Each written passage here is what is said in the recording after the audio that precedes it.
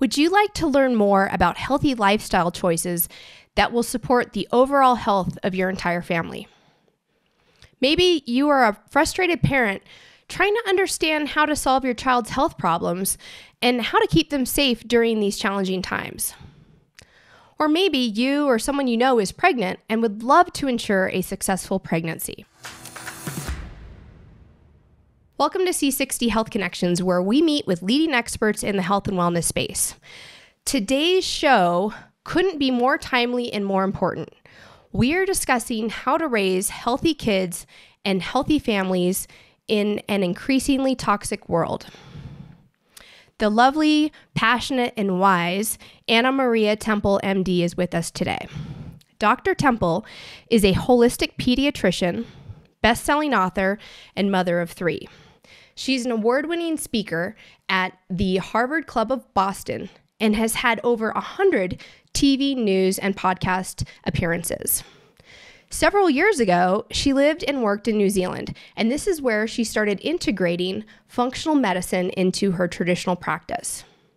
In her 22 year career, she has treated over 36,000 patients in person and has taught thousands more via her online courses. Her passion is to inspire, educate, and empower parents to revamp their family's health and wellness to ensure that their children avoid developing unnecessary chronic health problems. My name is Jessica McNaughton, and I'm the Chief Operating Officer at C60 Purple Power. I'm a business executive with years of experience in corporate America, and for more than 20 years, I've been exploring various modalities in health, wellness, and spirituality. Now, before we get started, any statements, products, or remedies discussed today have not been evaluated by the Food and Drug Administration. Any products or topics discussed today are not intended to diagnose, treat, cure, prevent, or mitigate any disease. So, with that, let's dive right in. Ana-Maria, so great to see you. Thank you so much for joining me today. I'm so excited to be here. This is going to be great. This is going to be so much fun. All right, let's just dive right in. Can you please tell our audience a little bit about your background and why you are so passionate about helping parents ensure that their children enjoy optimal health? Absolutely. Well, my journey actually started, if we're going to go back, actually, I was born in Romania and raised under communism. And in 1984, my parents came to the US that's a whole story in itself. Anyway, my dream had always been to become a doctor. And in 2000, 2007, I was a practicing pediatrician and I had three children at the ages two, four, and six. Unfortunately, they were plagued by chronic disease. They had asthma, eczema, allergies, constipation, recurrent ear infections, recurrent croup, uh, severe seasonal allergies that my youngest child could not even go out for an Easter egg hunt because his eyes would swell shut, his body would be covered in hives, and he would have tears streaming down his face. And uh, oh, let's not forget the battle with ADHD. Anyway, so one day I took this three ring circus to the doctor because I wanted to know, I'm like, how can my kids be on this many medications? They were two, four, and six, like I said. This could not be okay. So I went to their pediatrician and they were all lined up on the table, like the little three little ducklings. And, you know, the answers that I got was like, well, Allie, for my six year old daughter, they're like, well, for asthma, we'll use it daily. Inhaled steroids will keep her asthma under control. Topical steroids will keep her eczema under control. She'll take Zyrtec for her seasonal allergies, which will prevent her asthma from uh, acting up and from her eczema flaring, and she would outgrow her uh, recurrent ear infections. She would take some Miralax for her constipation, and on and on it went. And then for my little guy, they were like, well, there's just no more medicines that we can give him. He was on five medications at that point. They said the only next option is allergy shots. He was two years old. And then they were talking about ADHD. And honestly, I stopped listening at that point because my mama, you know, the mama bear took over and was like, what? These kids are destined for lifelong meds and like this can't happen. So mama bear looked at my doctor self and was like, what you got, girl? And my doctor self was like, I got nothing. I got nothing. And mama bear was like, no problem, no problem. We're going to figure this out. I don't know how we're going to do it, but this is not the rest of the story for these kids. And so, you know, my mindset changed. And a week later, I was I went to the kids' school where there was a nutritionist giving a talk, and I always go to the talks that the school puts together, and I always walk to walk in. I'm like, I'm gonna know everything they're gonna say, but you know, I'm just showing up to be supportive. Well, I can tell you that on that Tuesday morning, it's 7:30 in the morning, and a freezing cold first grade classroom, huddled in the desk of a first grader. I the fog lifted, and I realized and I saw the root cause of my children's chronic disease. And all the lady talked about was sugar. And I went home after work that night, about 7:30 at night. I walked in with my stilettos, marched right to the pantry, and to the heart of my children and the husband, I threw out all the Lucky Charms and the Pop Tarts, toaster strudels, cinnamon toast crunch, mac and cheese, um, the chicken nuggets, you name a garbage, we had it and out it went. And that's when the era of isolation began and I became an outcast in my family. My husband and I proceeded to fight over food for the next five years. My friends were like, You've lost, you've lost your mind. And, you know, my families, I think, scratched me off their wheels. And, you know, my medical partners were like, Where's the evidence? for all this. And I was like, I don't know where the evidence for this is because it was 2007. Um, but it can be wrong to get rid of food coloring and artificial flavors and replace them with fruits and vegetables. And so, you know, despite all the naysayers, because, you know, when Mama Bear takes over, you cannot step a mom or a parent on a mission. When a parent comes on a mission, it's on and it doesn't matter what anybody else says. And that's what happened. And I just kept going and pushing through with what I knew in my gut and that was going to be the right answer for my children. And over the next five years, okay, I didn't know all this stuff, so it took some time.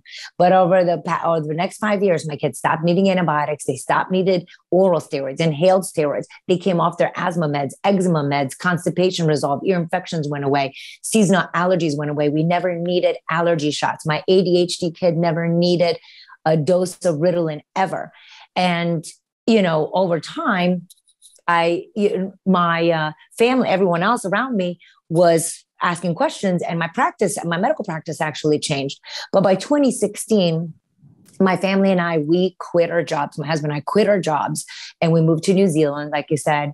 And we had no doctors, no medications, no health insurance, nothing. And my children thrived. They climbed the highest mountains and bungee jumped off the tallest bridges. And I looked at them and I was like, wow, this is what it's like to overcome chronic disease and be able to thrive. So when I practice medicine in New Zealand, there's no malpractice. The hospital, there's no Google reviews. You just practice medicine. And I walked in, I was like, we're going to do this different, folks. And then by the time that I came back to the US, I was like, under no circumstances am I going to practice medicine like I used to because I have seen too much and I have accomplished so much. And I want other people to benefit from the expertise, from my mistakes, from the things I've learned without having to go through all the heartaches that I went through. Wow. I am I'm so excited about this conversation because you are you are living proof. You have been in the shoes of these parents who were struggling, who don't know any better because this information is, you know, it's it's been suppressed um, and it hasn't been talked about in the mainstream. You've gone through it, you've overcome it, and you're not just surviving, but you actually have evidence about how to thrive in life and how these they seem like they're tough decisions at first to toss out the sugar and the lucky charms like you said and the mac and cheese and all the fun stuff that kids like to eat including the chicken nuggets but you got rid of it and then you like you reprogram a computer, you reprogrammed your family with healthy lifestyle choices. So I love it. So let's dive in right. Let's let's dive into that. Um what are what are some of the most basic and important healthy lifestyle choices that parents can make easily starting today that will support their children's health? Well, the None of them are easy because it all depends on your mindset. And if I would say probably number one thing is changing the mindset. We walk around and we think that because our kids don't have a lot of colds, they don't have a lot of coughs, you don't see the pediatrician on a regular basis, your kids are healthy.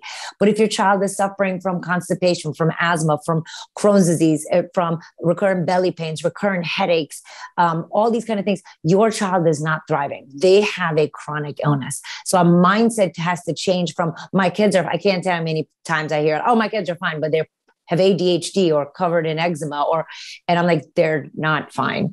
And majority of kids these days are not fine. So having the mind and chronic disease begins in childhood and shows up in adulthood. So let's say your child is doing amazing, they have no issues. When they're going to be 30, 40 years old and they end up having a heart attack or they're having anxiety or they're having horrible stomach issues, etc. It's because of all the things that were occurring throughout their whole life that culminated in the illness that is diagnosed at 30 and 40. So a lot of times I hear people go, the kids are fine. It's fine. It's not a big deal. You're totally ridiculous. Of course they can have cereal because they're healthy. So healthy kids can just eat all the stuff. And I'm like, well, no, this, this adds up. The body keeps count and the body keeps count and it shows the result sometimes at 10 years old, sometimes 17, sometimes 20, sometimes 40. Um, so, mindset that we need to make changes now. And I'm all about replacement rather than elimination. When we tell kids you could never have Chick fil A, you could never have a Dorito. Well, that's the only thing they're going to whine and cry about. So, with the way I started with my kids, I was like, all right, well, what I'm going to do is I'm going to fill their bellies with fruits and vegetables and then not say no to the Lucky Charms. I mean, it sounds really great in the story, but that's not how it really went. It's just the story is much better when I say that I chucked everything. I really didn't. I stop brought it in fruit smoothies and I created fruit smoothies in the morning. They would have to drink the smoothie before they could eat their Lucky Charms. And over time, what happened is they the smoothie got bigger and their portion size for Lucky Charms got smaller. And then we got to the point where they were not even asking for it and it would just sit in the pantry for weeks to months on end and then eventually i just stopped buying it so start replacing an truly an easy thing though is to give your child a grape at breakfast a carrot slice at lunch, one piece of broccoli at dinner. The biggest, you know, complaint I get, oh, kids don't want to eat, they're picky. They don't, right. Well, we're not going to present them with a bowl of fruits and a bowl of salad because if you're already against eating a lot of plants, you're not going to want a whole bowl. But all of us eat with our eyes first and you can tolerate a half of a grape or one grape and also develops the habit before we put anything else in our body we're going to eat a plant you do not need to be vegan this is not a plant this is not a plant-based diet. This is just let's bring more plants into our diet. Second thing, we're going to get our children outside to move. It's not like they can never be on screen time, but it's going to be for every minute you're outside, that's how many minutes of screen time you get. Now the children are empowered, they're in charge of their activity and they're in charge of how desperately they want to do screen time. So you're not saying no, you're saying, of course, you can have screen time depending on how many minutes you play outside today. For sleep, you know, a lot of the teens oh, and kids, they want iPads and they want to watch a show. And you, a lot of the routines I hear is like, oh, we have dinner and then we have a game and everybody watches a show and then the kids go to bed. Well, I'm not saying don't watch a show ever. How about we do it before dinner time? So many studies and so many times in clinic, I see sleep disturbances because the shows are being watched after dinner and too close to bedtime, which triggers nightmares, night terrors, night waking, and coming into the parental bed to, to snuggle in there. So again, let's replace it make it earlier in the day. And then at home, as you're going through your journey, you're going to start replacing some of the toxins in your life. You're not going to start with, let's get rid of all the cleaners, the makeup, the soaps, the detergents and stuff. Just start with one thing, you know, and in my book, um, Healthy Kids in an Unhealthy World, I give actually outline our journey for 14 years and how we started out with like the Vitamix blender and fruits at breakfast. And then we tackled, you know, vacation lunches. And then we tackled uh, water filtration. But it wasn't all in one year, it was over 14 years. So the last tip is one step at a time. You don't have to do it all in one day because in order to you know run a marathon you have to practice and it all begins with one step you don't run 24 miles just getting out of bed Amen. All right, that's good. All right, so you, I know one of the things that you've really di- dialed in and have helped parents with is um, dealing with chronic skin issues. So I want to talk about that. Um, can you help us understand why are we seeing an increase in eczema and other chronic skin conditions in children? Oh my gosh, the rates of eczema are through the roof. And because two of my children dealt with eczema, even my dog had eczema issues. Um, it just became my passion so I can help other families uh, overcome this debilitating and devastating conditions. The there's so many reasons that we're seeing a rise in eczema is going to be the processed foods our children have, the amount of sugar in the diet, the rates of C-section, the amount of Tylenol children are given, the anti-reflux medications, the antibiotics, the amount of stress, the amount of pollution. I mean, I can go on and on and it's this it is getting overall worse rather than better. And what I want you guys to think about is how can we have more advances, more medicines, more technology than ever before? Yet, here's the thing we're not living longer, we're dying longer. And we are now the first generation that is not going to outlive our parents. We are sicker than ever before, and our children are paying the price. Wow. All right. So like why why is it so hard for traditional doctors to diagnose and treat these conditions properly? Like you were you were in that world and you had to leave and, and move over to the functional medicine side. So can you just kind of break down for those of us who haven't gone to medical school like what's going on here? Right. Well, you know, we do in uh, medical school, your the training is, you know, diagnosis. Like you are trained like this is cancer, what kind of cancer? This is eczema, this is psoriasis, this is seasonal allergies, this is a cold. And then for every one of those, there's a medication treatment option. And that is how medical school goes. And yes, you're told that a healthy, you know, they should have a healthy diet. Yes, you're told that patients should move. But nobody in my medical school career that I know has taught us how to teach that. Because knowing that you should eat a healthy diet, whatever that means, is not the same as doing it. And families need support in learning how to do it. It's and we don't we, we're not taught that in med school also when you're in the traditional practice i used to have 10 minute visits that were dictated by the hospital so i would have to somebody would come in and let's say that if we're ADHD, I would get 20 minutes because that was really generous. In 20 minutes, I had to evaluate if the child had ADHD, answer all the parents' concerns, dig into their diet, their sleep, their stress, their school, all the different things. And then I would have to coach them into how to begin the changes. It is not possible in a 20 minute visit to get all that done. Not to mention that a lot of parents fought back. They were like, I want medicine. And I was like, no, you need to stop eating Skittles. And they're like, we don't want to eat Skittles. So then it becomes this whole thing.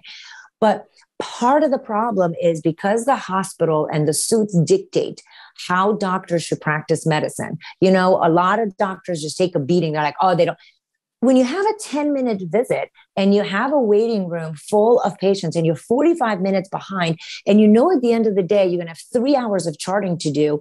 When a patient comes in and is like, hey, doc, what do you think about um, echinacea as for my immune system um, in the light of the cold that I have? You literally start bleeding from the eyes because you're not not because you're mean because all you can see in the back of your head is that clock ticking and your work never ending. Is this okay? Under no circumstances. But when i transitioned to my integrative thing of wellness the way i do practice medicine now a lot of folks are like well what do you do? And i was like i talk about nutrition. They're like well so do we. I'm like eh I have our appointments. I have health coaches. I have an entire team that I deploy to my family so we can dig into this stuff. That's why my uh, the kids in my practice who have ADHD don't need to be on medicines most of the time. That's why we treat anxiety without medications because I have the time, the team, and the support. And also in the doctor's defense, the insurance companies, because you could say, well, okay, well, why don't you, as a doctor, have an hour appointment in traditional practice? The insurance will pay a pediatrician $25 for an hour visit that consists of nutrition education. Shame on our society. Again, So for a doctor to be able to make the income, right, you have to see 10 patients in an hour, 10 times 25. So you can start being, you know, all the overhead and everything else. But I'm just, there's, it's so complicated, intricate. It, it the doctors are just pawns in a system that is so incredibly corrupted. Uh, aye, aye, aye. Okay. I, th- I really appreciate you breaking down like what what the problem is because uh, a lot of people just don't know. Like they they literally believe that when they're given that 10 minute appointment that whatever was said there in the protocol and like you said there's been a diagnosis. Now here's a um a, a medical you know a medicine that's that's being advised to be given.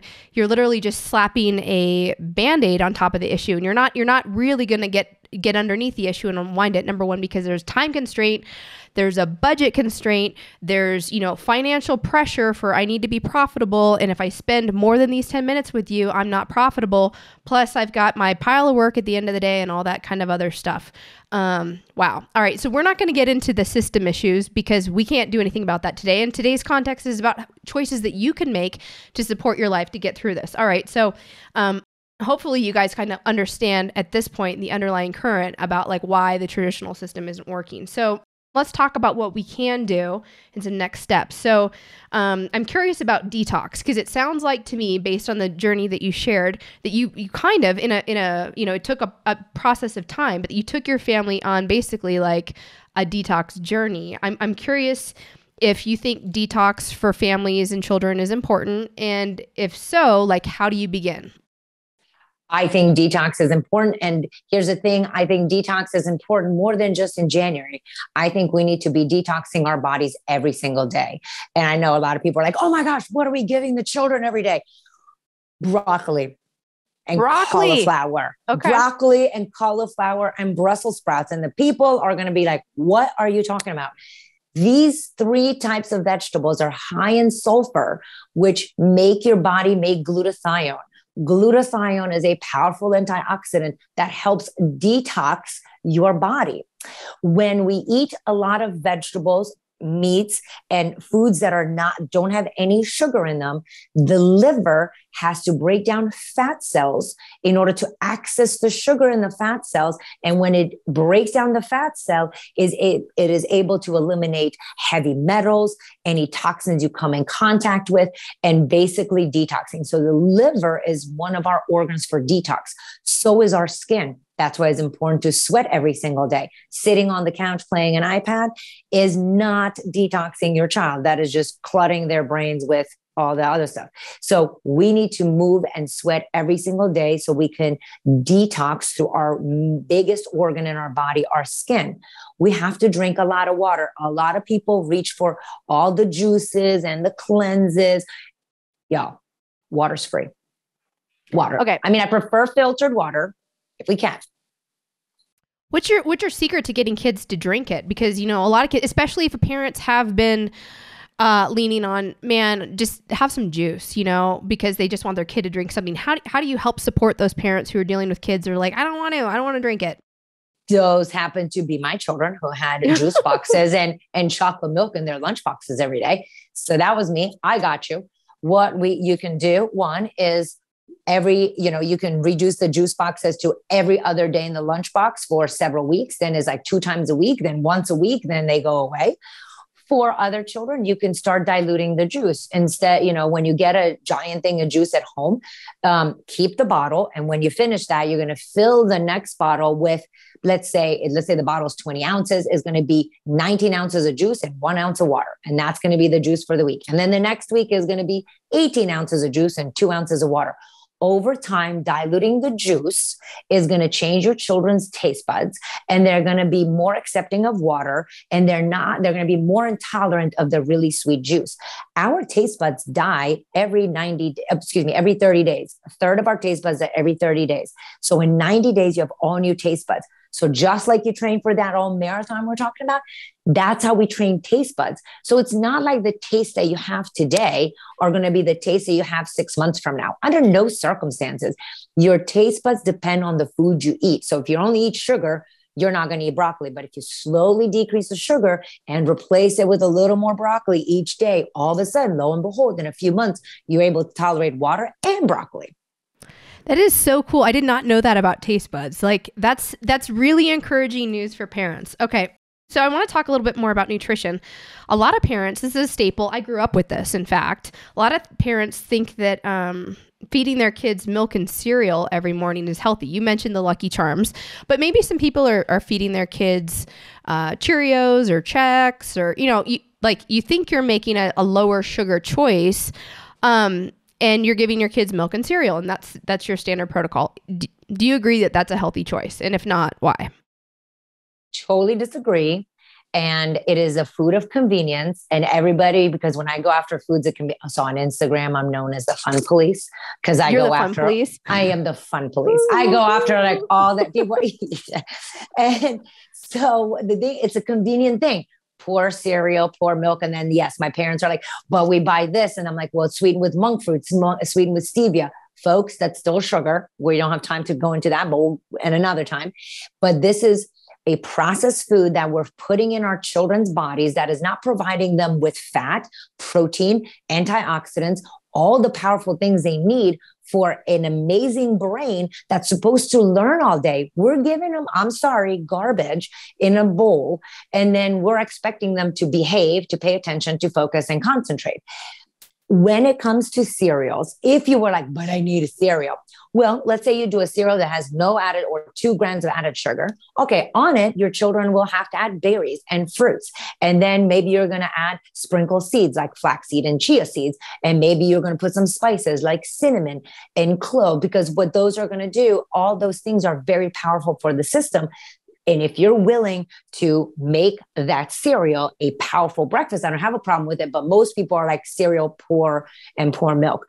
An easy swap is actually smoothies. You can make a smoothie, you can have pre-packed bags. In fact, at Costco, they already have and Costco's not paying me for anything. I'm just saying. They should. We're though, just but, we're just helping you guys figure right. out how to do this mm. affordably. right. And so okay. there, so I go on my videos to Costco. I do shopping trips and I show everybody the money. The the uh, smoothie packs that they have at Costco, it's a dollar seventy-five a pack. That you can, all you have to do is you can put a milk base or you can put water base, throw the the smoothie pack in there, blend it. It will take you 30 seconds. So it saves money, time, and your child's brain. And if after that they still want to do their cereal, great. Most kids are like super happy to get their smoothie and go. And yes, you have to figure out how sweet they want it and what they want into it. Right. It's going to be a learning process and it's okay. Awesome. Okay, what are I'm just curious, what are some of the health issues that you're seeing occur in children who are fed a diet that's heavy in dairy, wheat with gluten and sugar? What are some of the the biggest issues that are that are showing up right now? Eczema, okay. constipation, asthma, recurrent ear infections, anxiety, belly pain. Did I say constipation? Yeah, constipation. Um, headaches. Those would be the top ones that I see related to this. What about for um, parents who are curious about kind of what's going on with their kids' bodies? If if they've got a normal weighted child, but the child starts to get a protruding belly, you know, kind of like a round basketball shape, what what are some of the things that may be going on? And I recognize you're not. This is a general comment. It's it's not a diagnosis. Totally. Um, one of the things that my first question is going to be their bowel movements. So, speaking of detox, another thing that has to happen every single day is children have to poop every day. The colon is one of the major detox organs. If you're not pooping every day, your child is not pooping every day, they're not detoxing, and their belly is going to get really poofy. And when I say pooping, it's not a pebble, we're talking a long brown snake that is easy to pass sorry, my friends, but everyone is like, oh, we don't want to talk about it. I'm like, oh, it's one of the let's most important bodily functions, um, right? Let's put a long brown snake as a pop up here. Thank you. it is uh, so on the Bristol stool chart is a type four, and that shows us that the body is working properly. So, number one, what is the stool pattern? A lot of the kids with that belly issue you're talking about are constipated, they're not pooping, they're not eliminating, they're not detoxing. Then we have the kids that just have poor digestion. Let's say that they're pooping, but their belly is still big. So, in the morning, they wake up with a flat belly. By after breakfast, after lunch, the belly gets bigger, then flat, then big. That speaks to abnormal digestion. In our body, we have digestive enzymes starting with our saliva in our stomach, past the liver and the pancreas, in the small intestine.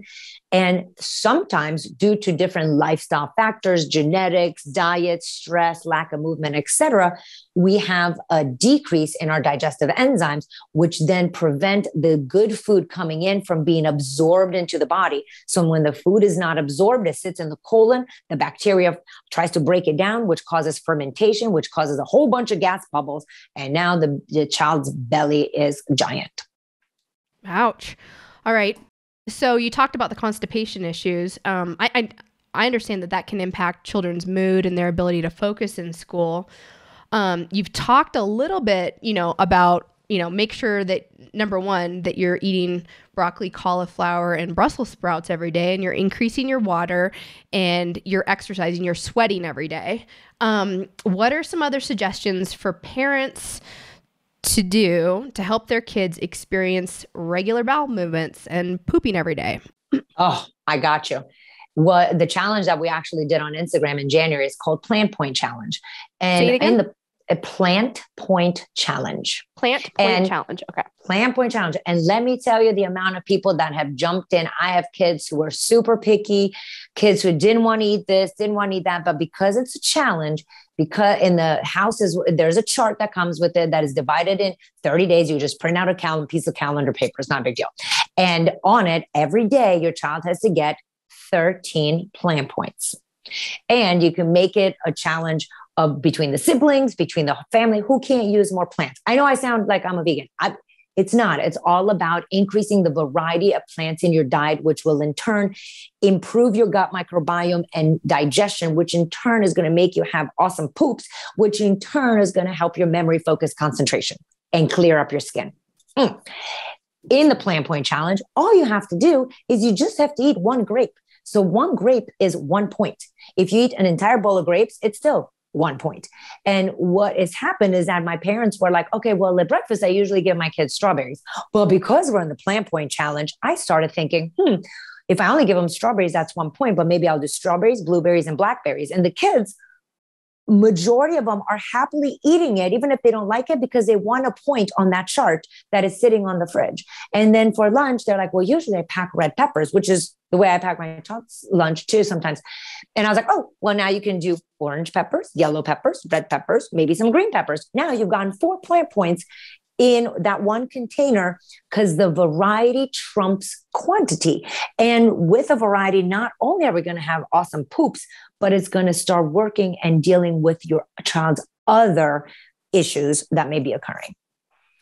So, um, can constipation contribute to anxiety? 100%. We have a direct in our eczema program. I can't tell you many patients are like, oh my gosh, well, we're not making progress. And I'm like, what's the poop like? And they're like, oh, they're still pooping every third day. I'm like, we're never going to clear the eczema if the poop is not moving. And then, you know, the same person two weeks later on our Facebook Live will come in and they're like, oh my gosh, we're pooping every day. And the skin's cleared up. I'm like, oh, it's a miracle. And then they get constipated and the eczema flares. And I'm like, oh my God. And, you know, and it's, but the amount of times that this happens and we see it over and over again, you know, people are like, oh my God, the gut really does impact the skin and the brain and your lungs and your kidneys, you know, your heart, because it's all together. All together. Yeah. That makes so much sense. Um, I love your plan too uh, for the for the challenge, and I love that you're getting points for the variety. It's not just the quantity; it's the different types. So you're really kind of helping set the foundation for children to not only embrace but enjoy these different fruits and vegetables. So that sounds really awesome. Um, what's your uh, Instagram handle? Uh, so we'll, we'll pop it up here so people can join. Sure, at dr ana maria temple there we go. That's easy. You go talk to the fun police. over at uh, Dr. Ana-Maria Temple.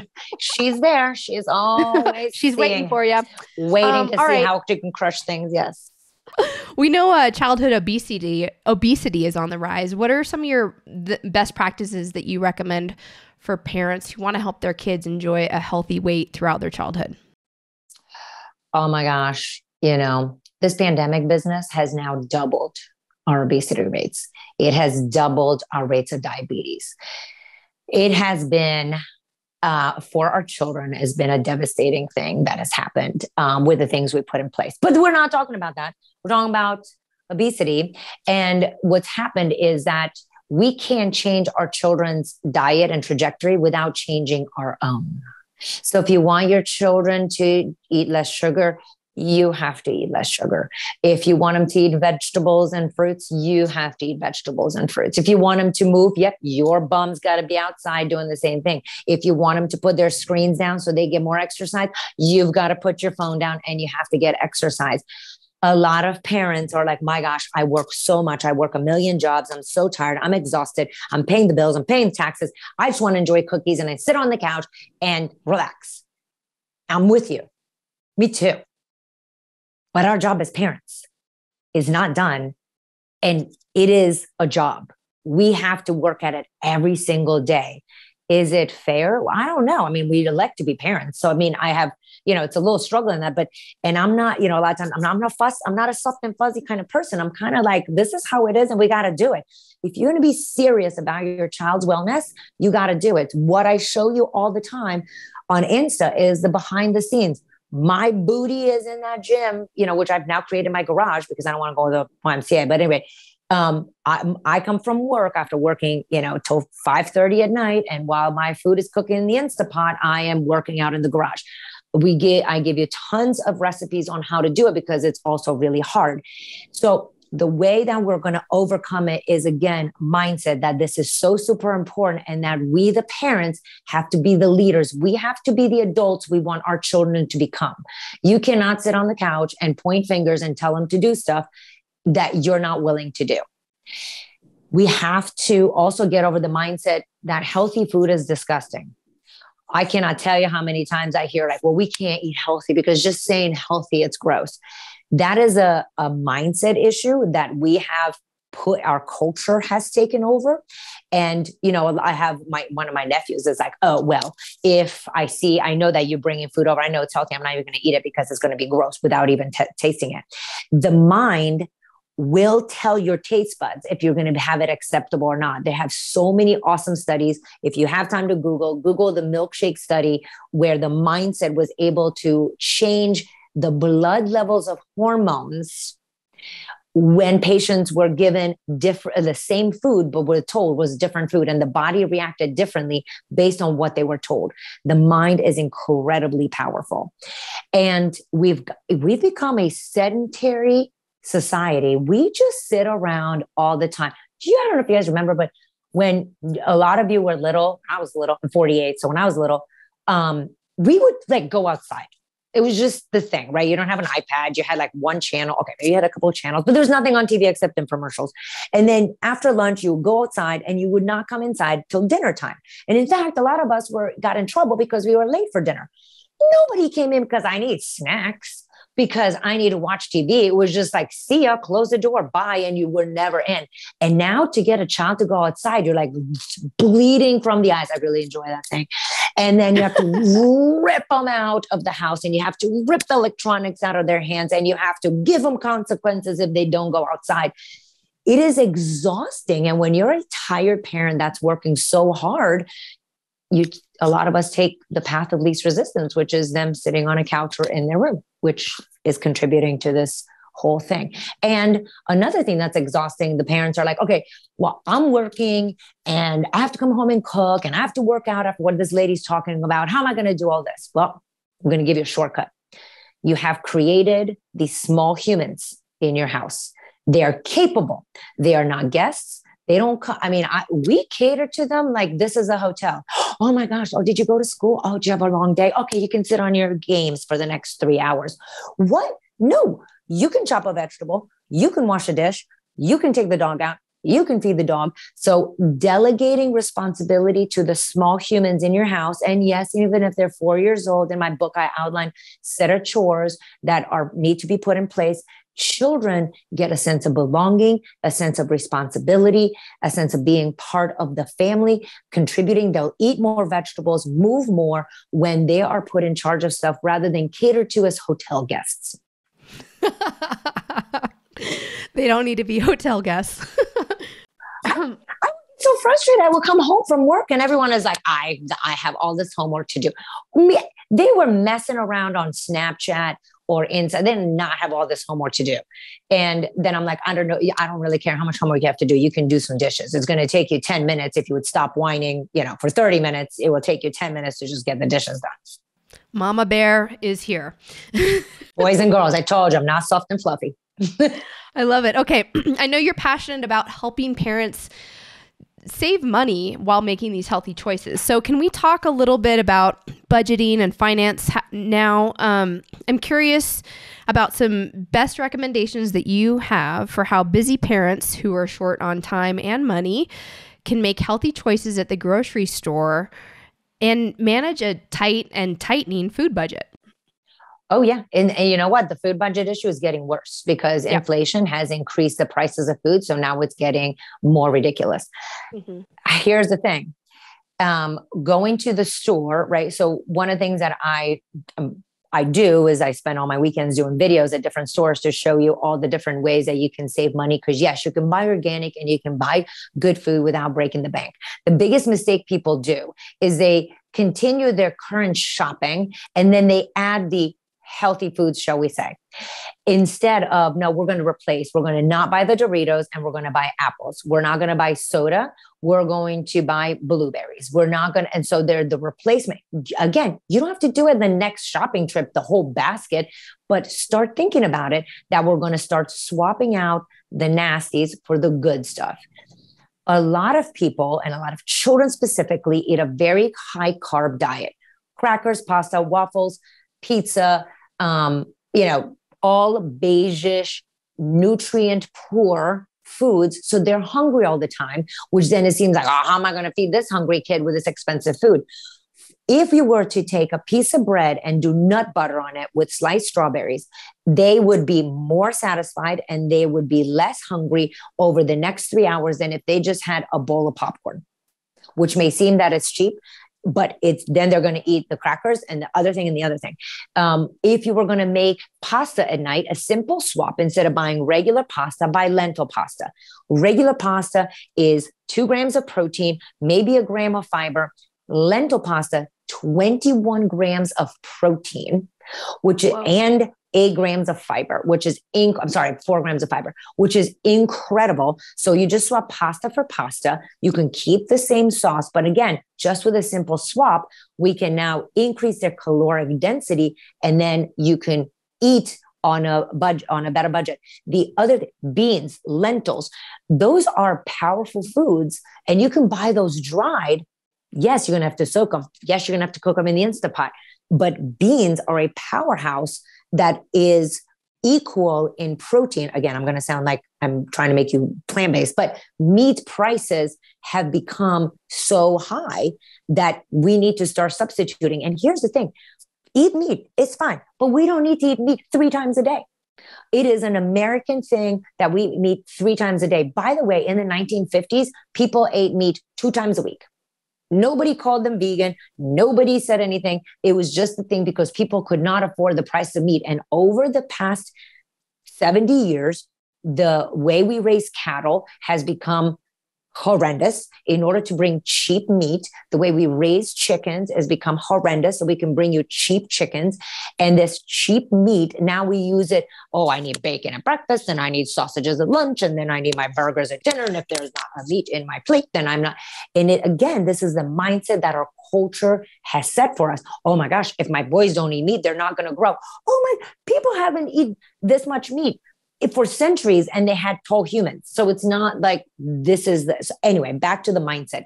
So looking for protein rich foods, going to bulk discount stores also when you buy frozen fruit cheaper than fresh fruit if you buy a lot of times we waste stuff so you're like oh well i can go to costco to get the spinach because it's like three of us and we're not going to eat that whole thing of spinach which is $4.99 by the way and so what i do is well eat the spinach that you can over the next few days and you can freeze the rest you can oh, buy brilliant. the mushrooms yeah and then you throw yeah, it in you get smoothie. those big tubs and you get through half of it but then you let it sit there for another week and it it falls apart because of the moisture. Okay. And now you're throwing money it. in the trash. Right. Freeze it. Like after Perfect. four days, you freeze it. Mushrooms. I get the mushroom, the organic mushrooms from Costco. I use in my recipe tonight. Everything else gets in a baggie in the freezer, and I'll use it in my recipes for the next few weeks. The same thing with majority of the vegetables. You can freeze all the stuff. The amount of stuff I freeze, guys, is like incredible. You can even freeze eggs, by the way. Just letting you know. And cold eggs cuts. or cooked eggs. The, after you, co- you cooked them, cooked eggs. Okay. Yeah. Cool. Cold, cold cuts. You can do the same thing. You go to Costco and you're like, oh my gosh, I'm getting this turkey breast.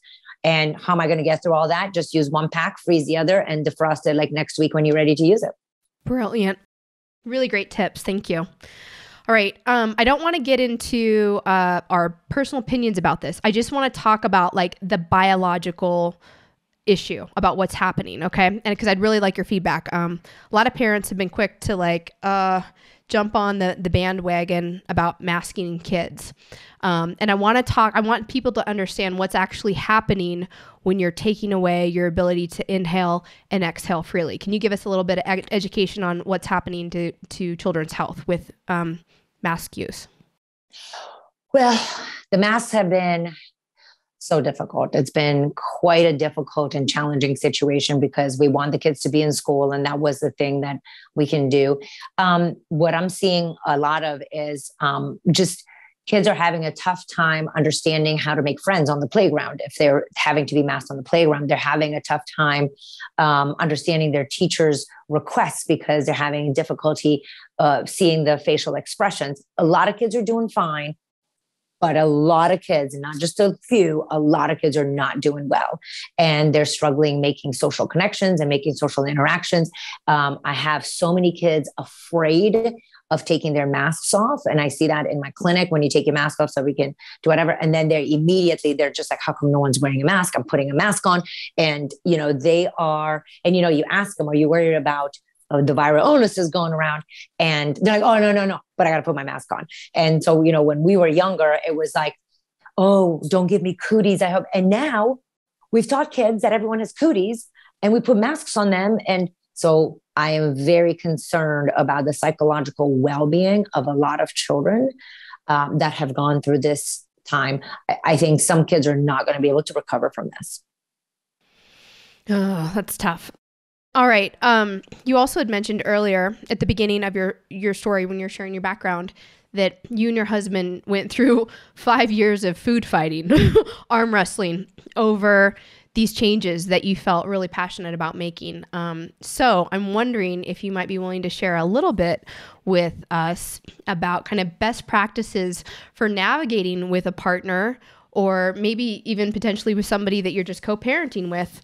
Um, you know, how, how were you able you and your husband able to overcome and successfully navigate these changes as they were being implemented it was a beast you know it was I mean, it was not easy. We, yeah, we had some rocking fights. And, you know, he was like, I don't understand. And I was like, okay, well, listen, that's why I didn't remove. I, that's why I was let's replace. Okay, well, so he was totally game for making smoothies.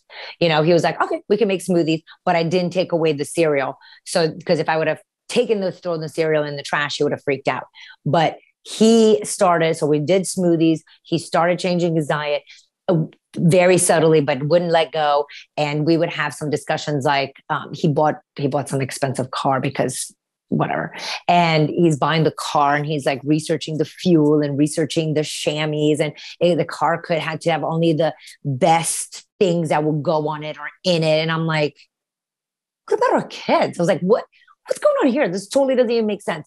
Anyway, really the turning point for him was when he was having a lot of joint pains and not not feeling well. And then for some reason he didn't have his he used to eat cereal every night like three bowls of cereal honey nut cheerios with no honey nut cheerios uh, honey bunches of oats with almonds. That was the cereal.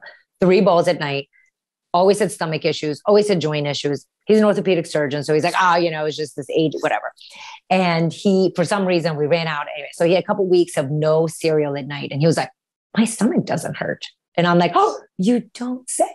And then his joints whatever we were doing because i'm the one that's cooking i'm the one that, that was buying the food he wasn't buying so he had to eat what was in the house. And as we were making changes of course his diet had to change and he noticed some improvements in it. But as i said the one way to start is going to be replacements for partners, and especially if it's a wife and a guy and a dad. The dudes, generally speaking, love the bottom line they need a spreadsheet and they need to see like how this is going to actually affect it. So for my mamas, I'm always like, okay, well, you can outline how many doctor visits you have, how many copays, how many labs, the pay, the price of medications, the price of lotion, the price of X, Y, Z, and then you can do the price of the groceries.